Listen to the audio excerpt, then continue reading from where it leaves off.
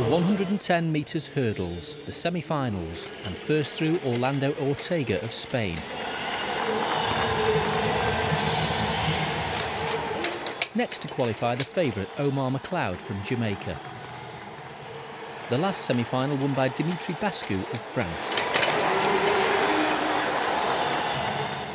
These, the eight finalists. On your marks. Tension in the crowd and on the track. McLeod in lane 5, 10 hurdles away from glory. With lots of obstacles either side of him. Notably Pascal Martinot Lagarde in lane 4 and Bascou in lane 6. Set. The two French athletes were both away smartly, but McLeod was soon in charge and heading for victory.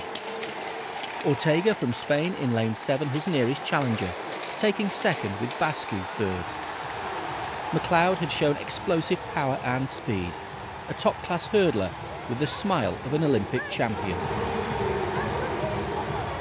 Bronze then to Dimitri Bascou of France, silver to Orlando Ortega from Spain, and gold to Omar McLeod of Jamaica.